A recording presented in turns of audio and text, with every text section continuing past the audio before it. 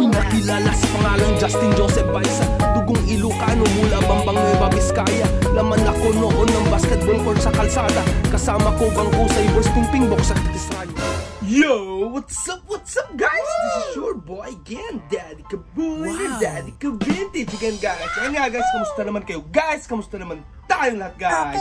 Sana okay na okay tayo guys Kasi kung akong tatanong nyo guys is all goods tayo guys Yan So guys, proceed na tayo guys For today's vlog nga guys is meron akong i-reflex sa inyo guys. Hindi to hindi ko to binili, hindi ko to na-hit sa sa sa ukay-ukayan or sa warehouse man yan guys.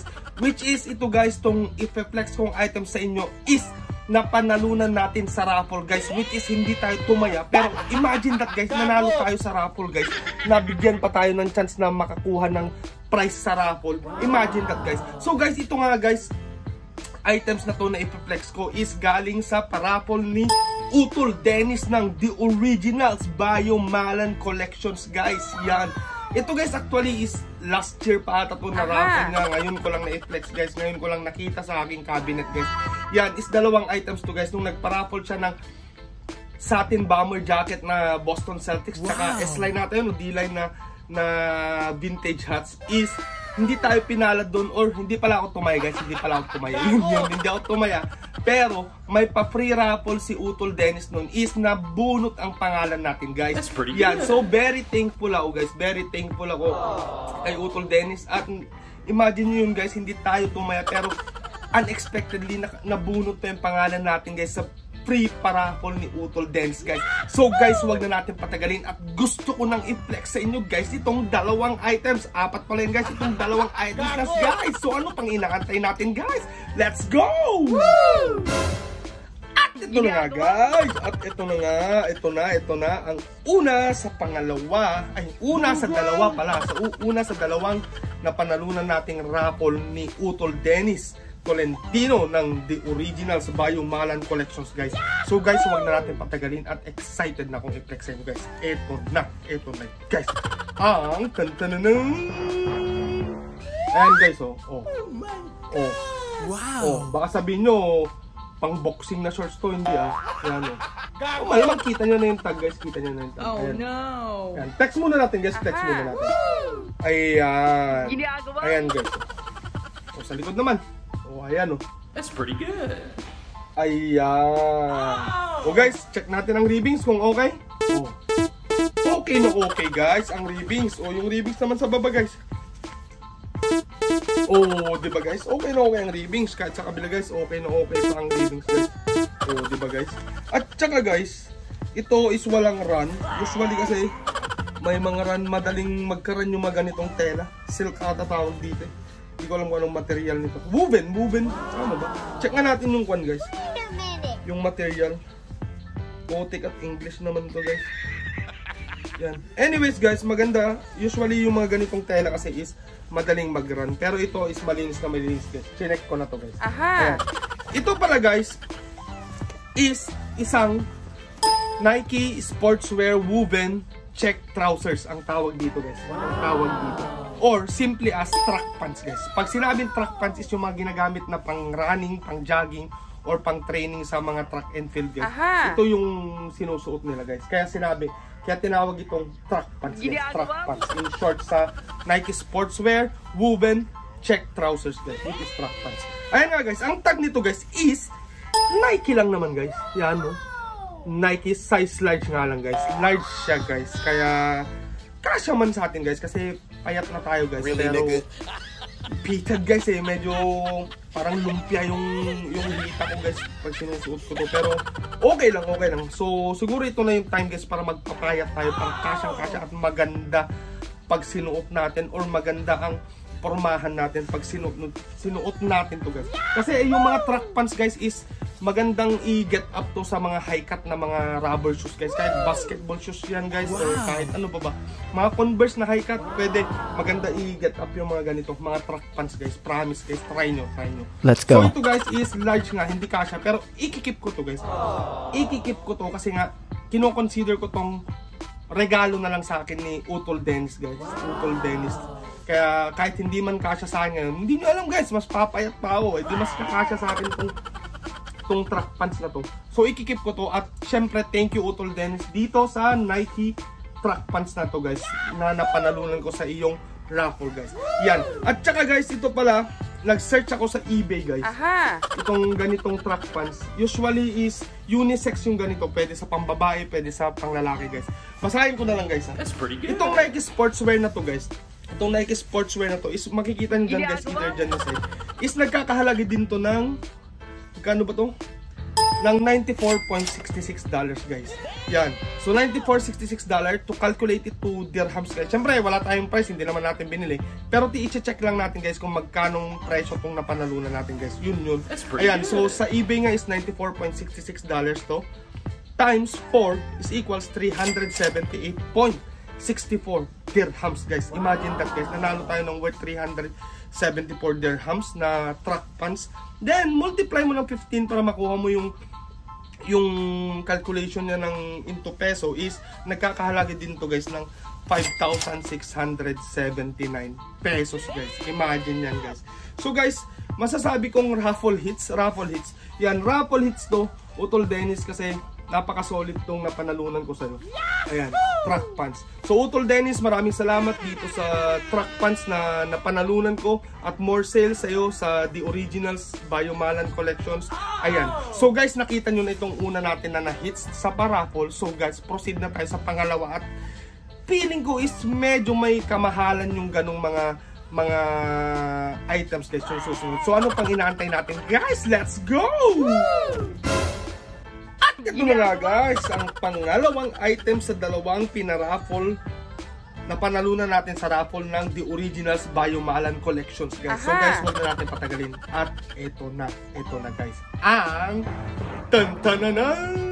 Yan guys oh. Eh, obviously, nakikita nyo na kung anong tag nyan, guys. Ayan, oh. basa nyo pa. Ayan, oh. Oh, oh. Yan ang front hit, guys. Ang Aha. back hit naman, guys, is ito, guys. Ayan, oh. That's Oh, pretty Kita nyo good. na, guys. Sorry, guys, sorry. Ayan, guys, ang back hit. Yan.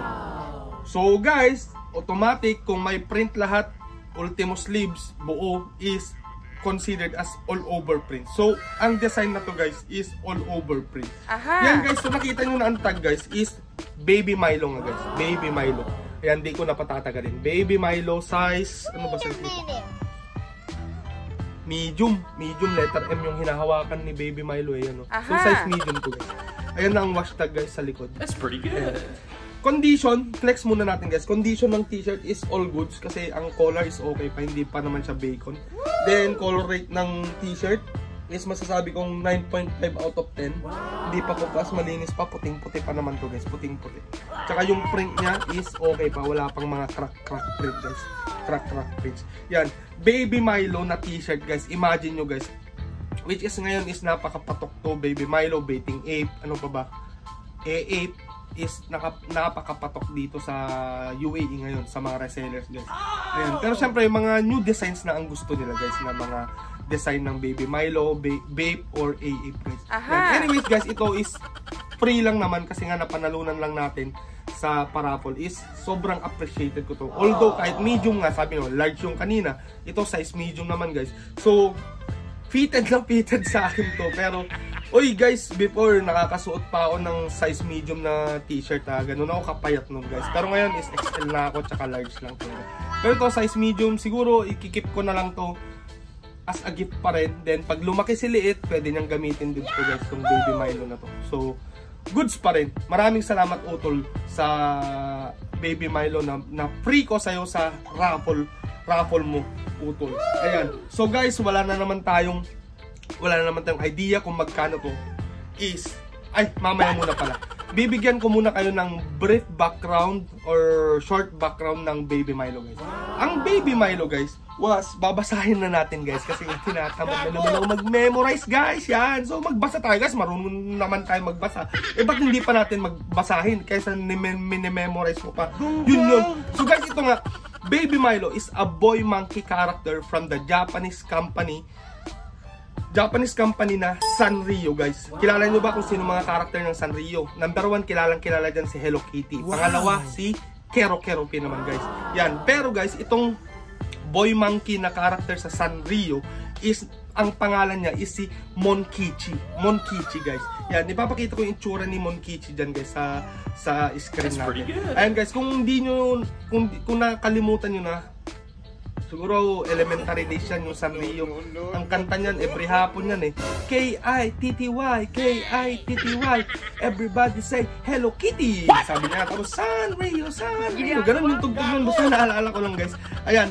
And then, guys, tong Baby Milo nga, was created by the Baiting Ape guys noong 1993. Knowing guys na ang founder ng Baiting Ape noong 1993 is si Tomoaki Nagao or si Nigo guys, Nigo. Alam niyo na yan guys, di ko na i-elaborate pa or iba broad broad background kasi na na talakay na natin to si Tomoaki Nagao nung Plinex natin yung nakuha nating hits na A8 na hoodie jacket ni Liit guys kay Lakay Jap Gazingan yan. Shout out Lakay Jap Gazingan. Nasa bakasyon ka ata ngayon. Ingat dyan sa Pilipinas at enjoy your vacation. Ayan, shout out Lakay. Ayan nga guys. And then guys, ang Baiting Ape is started in 1993 din by Nigo. Yan, owned by Tomoaki Tomoaki Nagao by or si Nigo nga guys. Sorry, paulit-ulit ako. Ayan guys, so bibigyan ko lang kayo ng trivia about sa Baby Milo guys. Ang Baby Milo was created as a collab between Babe and Sanrio in celebration of Sanrio's 50th anniversary guys noong 1993. So imagine nyo guys, 1993, 50th anniversary ng Sanrio or nila Hello Kitty. So ibig sabihin, 1993, 1940s pa pala na na-invento ang kwan, ang Hello Kitty, yung Sanrio guys, di ba? Sanrio and Friends yan. Sanrio and Friends pala yung pangalan nun. Yan guys. Then second trivia guys sa Baby Milo is noong 1999 guys. Uh, Nigo created as the mascot for Babe si Baby Milo guys. So, naaalala ko nung college is may mga ba- may mga baby Milo patok na patok talaga to ito ulitin ko na naman yung sinabi ko last time patok na patok to nung college guys lalo na sa mga kasi may, loose din yung mga t-shirt nito nun eh which is streetwear naman talaga to Aha. pero ayun nga guys proceed na tayo daldal ko guys noong 1999 uh, Nigo created Baby Milo as the mascot for Babe guys for and now guys imagine nyo ang Baby Milo is 25 years na in the industry guys na nag nag, nag produce pa rin or nag nagma-manufacture pa rin ng mga Baby Milo na t-shirts guys. Yan. So guys, ayun nga ang simple background ng Baby Milo is sana ay may napulot na naman kayo kahit mabilisan lang na na sharing ng simple background ng Baby Milo guys. Yan. At saka guys, wala nga tayong idea kung magkano to. Pero syempre matalino tayo guys. Really, nigga? Tayo guys sa eBay. May nakita tayo sa eBay guys which is yung hindi hindi siya same na ganito. Pero Oh no. yung cheapest na all over print na design na lang ang hinanap ko guys which cost $56 guys 56 so times 4 mo yung $56 guys is 224 dirhams then to, to come up to peso guys is multiply mo lang yun ng 15 224 times 15 is nasa 3,360 pesos din to guys. Imagine nyo guys. So napaka-hits, napaka-hits to guys. Napaka-hits tong Baby Milo din. Though hindi nga kasya sa akin, pero as I've said, is ikikip ko to kasi nga I consider this as a gift na lang or present kay Utol Dennis Tolentino. Yan. So guys, nakita nyo na nga itong dalawa nating items. Ang track pants na Nike. Aha. Ito pala guys, tong track pants na Nike to, tong design niya is retro na to. Kasi inspired, nung ginawa to, nakita ko lang sa description pala, nakalimutan ko banggitin kanina. Yung design na ganito guys is inspired siya sa 1970s na design ng Nike na track pants guys. Yun naman ang trivia dito guys. That's pretty good. Anyways, ito nga ang una, ang Nike track pants at ang Baby Milo na all over print guys. Yan. So guys, panalong panalo to. Ikikip ko to at magagamit ko to ito para kay late na lang siguro kasi no chance na talaga nakasya sa akin to guys kasi di ko alam kung aabot pa ako or may babalik ko pa yung katawan ko sa medium size. Yan. So guys, Siyempre, magpapasalamat ako kay Utol Dennis ulit ng The Originals Bayong Malan Collection sa pagbigay sa atin tong dalawang na panalunan natin sa paraffle niya. More sales Utol at saka more power din sa page nyo. Yan, like and follow nyo din yung page ni Utol. Tsaka syempre, The Greatest Unlimited, follow nyo din. Boss Papi Merch, follow nyo din. V-Cuppers kay Chip Clip Austria, follow nyo din. Then The Greatest Unlimited ulit, then Biomalan. Then Stylish, di ko pala nailagay yung hat ni ni Lakay Christian dito. Yan, follow nyo din lahat ng mga resellers dito sa Abu Dhabi guys.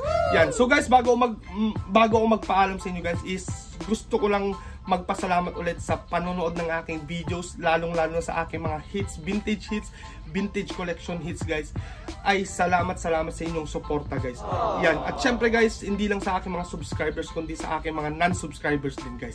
Yan, at syempre guys, kung bago ka lang dito sa aking YouTube channel na JJB, KIB, eh, syempre guys, huwag mong kalimutan na mag-subscribe guys.